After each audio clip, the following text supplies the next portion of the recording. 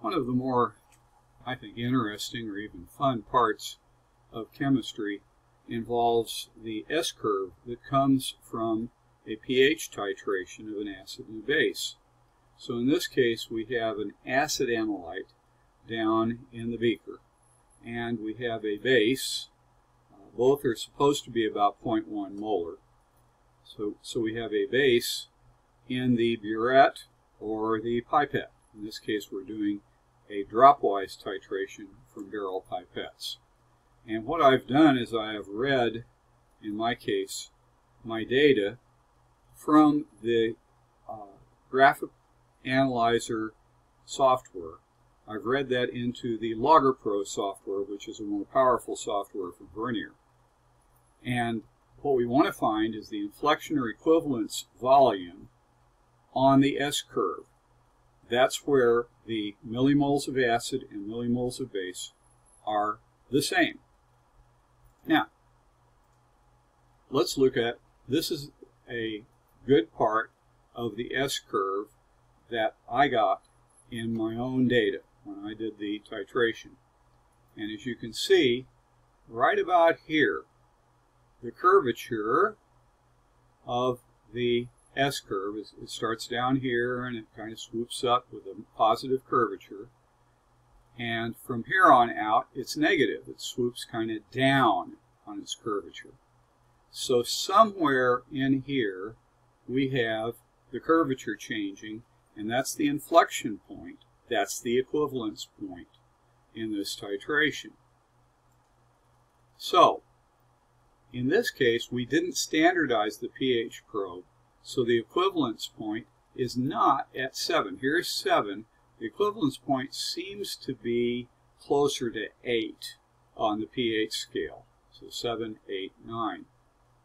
We didn't standardize, so even though we know that all we're doing is making sodium chloride water, and so it should be at 7 or a little lower with the carbon dioxide in the air, uh, we didn't standardize this, so the equivalence point is not 7. Now, the first derivative of any function turns out to be the slope of the line at that point. We get that by drawing a tangent to any curve at that point and then we just do rise over run. The change in pH in this case by the change in volume. Logger Pro nicely does that math for us. Here's, for instance, a point on the line. This is not the equivalence point. We have this point on the line right in the middle of these two. And if we were to graph, uh, do a best fit straight line on these three points, we get a slope that is very close to the slope at this point on the curve. And that's 0.2995. Here you can read it right off the LoggerPro output. You have the same kind of thing available to you on the graphical analysis. Now, if you then graph the slope of the pH against the volume, you get a curve that looks like this. This is very much like, since it's, it's actually a positive curvature on this line, and this is what it looks like up to the equivalence point, and this is what it looks like on that upper part of the curve where the pH curve is curving downward. And it may be obvious, I don't know, to me it's obvious that the maximum of this first derivative graph occurs at the inflection point volume, somewhere in here. You can probably see that the maximum occurs when maximum, maximum of the curve occurs up here someplace, when instead of curving up, it starts to curve down. So it's like the uh, object being thrown upwards and when where does it start back down so you can catch it. So the slope of the line here, when it turns over, is going to be zero, just for a millisecond. Now, we take then the slope of the slope, which is the second derivative, and we graph that versus the volume. And as you can see, it that, that slope gradually gets bigger and bigger until it hits the equivalence point here. This is, remember, this is the slope of the slope. So where the slope started to turn around, you see it coming up, and then that slope gradually, or the slope of the slope gradually gets smaller until it's zero. That's the equivalence point. So all you have to do is find out what that is by dropping a perpendicular.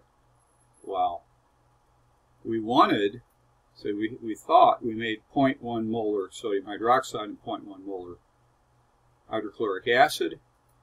And if we had, then the 15 drops of acid would be neutralized by exactly 15 drops of base. And sure enough, here it is. You've got 15 drops of base. Therefore, your, at least in my calculation, the molarity of the acid was in fact 0.10 molar. Hopefully that's helpful. Now, in your case, you may want to use a different method if you don't have access to getting the second derivative. And so we'll go back up to the original here. And there's a lot of ways you could do this. But quite frankly, my favorite is just to take the midpoint of this line between here and here.